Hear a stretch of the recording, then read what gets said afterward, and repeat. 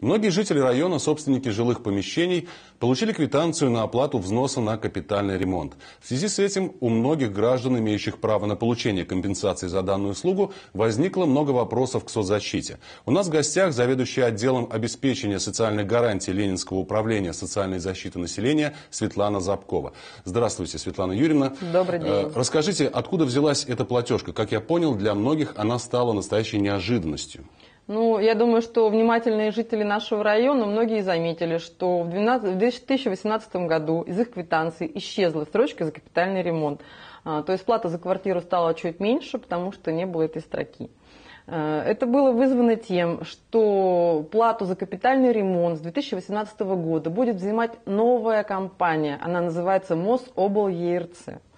Видимо, три месяца было дано им на подготовку новых платежек, и, соответственно, вот эту платежку за три месяца граждане сейчас и получили. То есть жителям района пришла квитанция на оплату взноса за капитальный ремонт за январь, февраль, март 2018 года.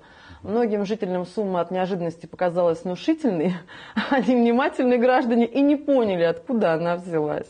Причина То есть- только в смене поставщика услуги. Ну Вот сменился поставщик, а что это означает для льготников? Для льготников не изменится ничего. Никаких документов не нужно никуда приносить, переоформлять, ни сообщать о данном факте.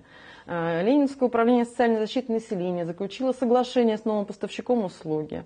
МОСОБЛ ЕРЦ, точно так же, как и ранее управляющая компания, даст нам все сведения о начислениях. Ленинское управление соцзащиты населения начислит компенсацию за все три месяца и уже в мае выплатит ее на счета граждан.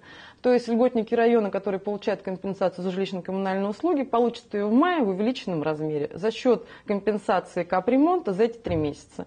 И в дальнейшем эта компенсация будет производиться регулярно. То есть никаких действий предпринимать им не надо. Ну, насколько я знаю, сейчас у вас творится определенный ажиотаж в вашем учреждении. Это так? Да, в принципе, ну, большая часть получателей компенсации же это пожилые люди, инвалиды, которым и так тяжело отстаивать свои права, разбираться в законах. Любая новая бумага вызывает у них панику.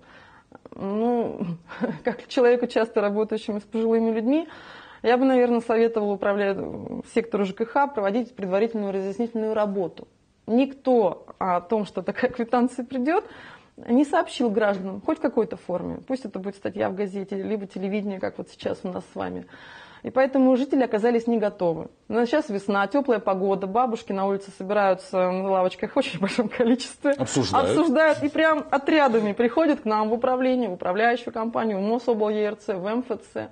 Их переживания понятны. Скоро дачный сезон, а здесь нужно заплатить такую сумму, чуть ли не тысячу рублей, и еще неизвестно, получат ли они компенсацию. Они переживают.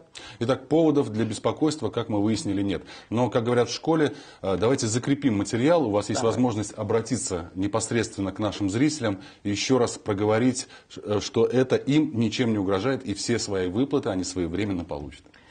Уважаемые получатели компенсации расходов по оплате жилищно-коммунальных услуг. Если вы в прошлом году получали взнос, э, компенсацию взноса на капитальный ремонт и вдруг получили квитанцию на оплату капитального ремонта от МОСОБЛ ЕРЦ, не пугайтесь.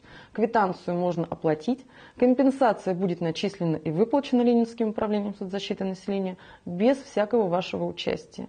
Никуда приходить не нужно и волноваться, переживать тоже не стоит. Ну что ж, будем надеяться, что после этого обращения ажиотаж у вас немножко сх- схлынет.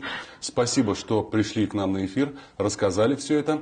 А я напомню, что у нас в гостях была заведующая отделом обеспечения социальных гарантий Ленинского управления социальной защиты населения Светлана Забкова.